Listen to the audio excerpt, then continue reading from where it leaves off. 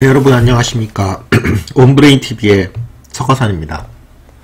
오늘도 아주 흥미로운 지식을 쏙쏙 뽑아서 여러분들께 서빙을 하겠습니다. 예. 오늘은요 음, 상어에 대한 이야기를 좀 해보려고 합니다. 여러분 상어 하면은 뭐가 생각나시나요? 저는 뭐 단연 조스란 영화가 예, 제일 먼저 생각이 납니다. 여러분 내가 어렸을 때 조스 처음 나왔을 때 충격을 금할 수 없었죠. 거대한 이 백상아리라고 하는 거대한 흉포하는 predator, 포식자죠. 포식자가 인간을 공격하는 그런 이미지, 예, 그런 이미지에 익숙해 있는데, 예, 사실은 상어는요, 음, 굉장히 원시적인 어류이고, 그리고 연골 어류죠, 그쵸? 연골 어류. 그러니까, 뼈가 연골로 돼 있어요. 어, 우리 코뼈 같은 거 연골로 돼 있잖아요. 근데, 어, 우리 보면은, 어, 죽어서 땅에 묻히면 뼈가 남지만 코뼈 같은 건 남지 않죠. 그죠? 연골은 다 이렇게 썩어서 없어지잖아요. 그런 것처럼 상어의 화석도요. 음, 지금 이빨 화석만 발견되죠. 발견돼요. 그렇죠? 네. 몸의 뼈는 사가서 없어지니까 이빨뼈만 발견돼. 이빨 이빨만 발견되죠. 이빨 이빨만요. 그런데 아주 원시적인 어류인데 굉장히 번성한 종류이고 그리고 아주 오랜 세월 동안 지구상에 존재했던 그런 어류입니다. 그래서 어, 무려 4억 년 전에 지구상에 출현했거든요. 근데 인간 같은 경우에는 200만 년 전에 출현했으니까 인간은 이 상어에 될 것도 못 되는 거죠. 어. 4억 년 전, 그러니까 마일리지도 생각해 보십시오. 4억 마일리지와 200만 마일리지. 벌써 이게 다르죠. 클래스가 달라요. 그죠? 굉장히 번성한 종류고, 종류도 다양하고, 그리고 바다의 포식자로서 오랜 생활을 군림해왔다라는 걸 알 수 있는데 근데 아까 조스 같은 거 말씀드렸지만 사실은 이렇게 우리나라에는 두툭상어라고 그래서 이렇게 한 40cm에서 60cm밖에 안 되는 이런 작은 상어들 귀엽죠? 전혀 인간한테 해를 끼치지 않습니다. 이런 작은 상어들 이런 것도 굉장히 많아요. 알은 이런 식으로 생겼고요. 예, 이렇게 예, 예뻐요. 귀엽죠? 이런 거. 예, 근데 이런 어쨌든 상어가 꼭 그렇게 흉포한 것만 아니다. 라는 걸 꼭 알아두시기 바라고 그 다음에 또 하나의 상어에 대해서 하나의 상식을 알, 려드리자면 상어는 불에가 없어요. 불에가. 예. 그러니까 어, 다른 어류처럼 그러니까 경골 어류처럼 생선 생, 선이라고 해야 되나 다른 생선들처럼 다른 물고기들처럼 이렇게 어, 위로 올라갔다 내려갔다 할 수가 없습니다. 어, 그러니까 가만히 있으면 계속 가라앉아요. 그래가지고 상어는요 계속 헤엄쳐 다녀야 됩니다. 그래서 잠깐 잠깐 이렇게 어, 잠을 자고 그러죠. 그런데 이거 보십시오. 두툭 상어 같은 거 보시면은 여러분 이 지느러미가 이렇게 짧고 이렇게 돼, 돼 있죠. 이런 두툭 상어 같은 것들은 얕은 데서 살기 때문에 얕은 데서 이렇게 배를 깔고 그냥 이렇게 누워서 잠깐 눈을 붙이면 돼요. 근데 깊은 바다에서 사는 상어들은요, 지느러미가 굉장히 이렇게 커요, 이게. 그래서 이렇게, 어, 마치 활강하는 것처럼 이렇게 슬라이드처럼 이렇게 슉 내려가면서 천천히 내려가면서 잠깐씩 눈을 붙이면서 자, 자, 자고 일어나고 자고 일어나고 그럽니다. 예. 그러니까 상어는 참 재밌어요. 어. 그래서 근데 재, 그런데 아주 심각한 지금 문제가 생겼습니다. 4억 년 만에 지금 위기를 맞이를 했, 맞이했다. 지금 몇 차례에 지금 그 멸종 위기를 넘겼는데 요즘 들어서 또 하나의 위기에 봉착했다라는 지금 그런 기사가 나왔습니다. 사이언스 타임즈라는 것을 보면요. 상어는 4억 년 이상 바다를 지배해왔다. 여러분 4억 년 전이라면 육지에 나무가 처음 등장하기도 전이에요. 어, 얼마나 옛날인지 알 수 있죠. 척추동물이 육지로 올라오기도 전이에요.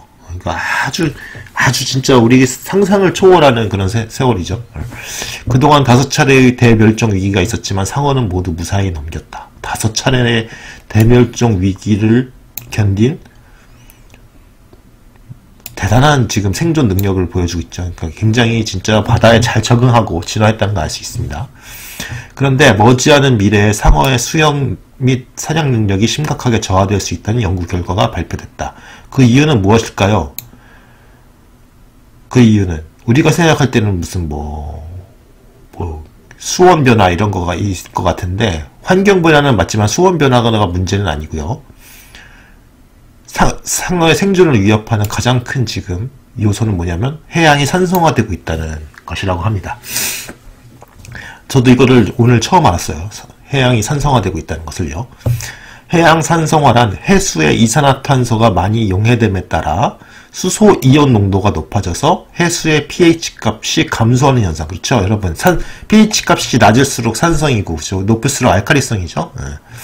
지구의 바다는 지난 수억 년 동안 평균 pH 8.2 정도의 약 알칼리 상태를 유지해 왔다고 합니다. 그러니까 바다는 약, 약 알칼리예요. 그런데 보시면 여기 지금 이산화탄소가 많이 용해됐다는 것은 우리 항상 그 요즘에도 그렇지만 무슨 어, 그 화석 발, 화력 발전소 뭐 이런 거라든지 아니면 무슨 자동차 매연 이런 것으로 지금 대기 중에 이산화탄소가 많이 지금 그 축적돼 있고 그것 때문에 온실효가 나타나고 뭐 기후 기후의 뭐 이상 이상 기, 기온 현상 뭐 이런 거 나타난다 이런 얘기 많이 들어봤잖아요. 근데 이것이 이산화탄소가 바다에도 지금 영향을 미치고 있다는 이야기입니다. 네.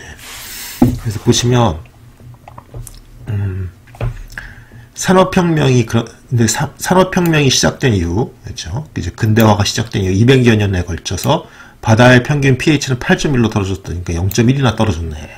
대단히 많이 떨어졌네요. 그러니까 산업혁명이 시작된 이후에 우리 그 공장 같은 거 많이 생기면서 pH 농도가 급격히 떨어지기 시작하는 거죠. 이산화탄소가 많이 배출되면서.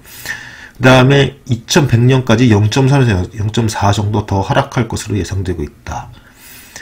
해양산성화의 주요 원인은 석 탄, 석유, 그렇죠. 이런 거겠죠. 예.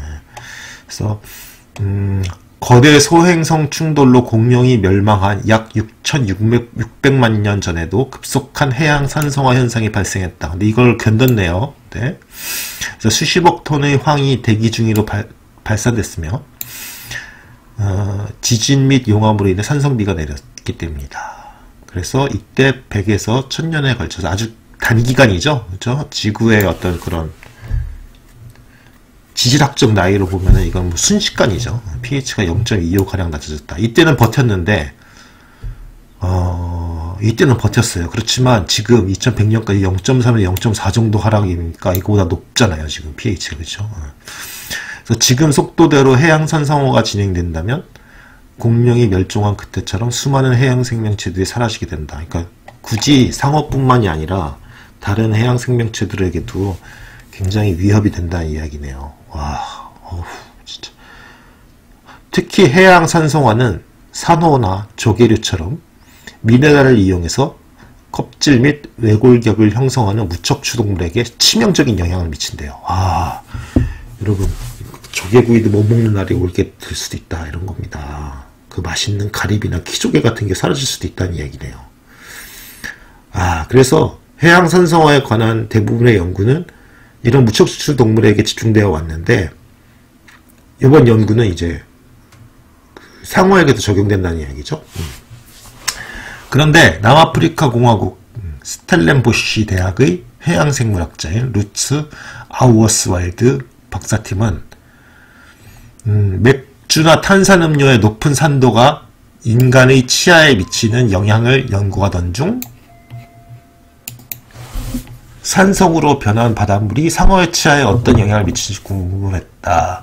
그러니까 처음에는 인간의 치아에 미치는 영향을 근데 여러분 있잖아요. 예전에 제가 초등학생 때 내 친구가 이런 말 한 적이 있거든요. 자기가 무슨 뭐 무슨 뭐 방송을 봤는데 코카콜라에 이빨을 넣었더니 이빨이 녹아 없어졌다 뭐 이런 거에 대해서 내가 진짜 막 이렇게 농담하지 말라고 막 이런 얘기 한 적이 있었는데 실제로 이런 연구를 하는 사람이 있었네요.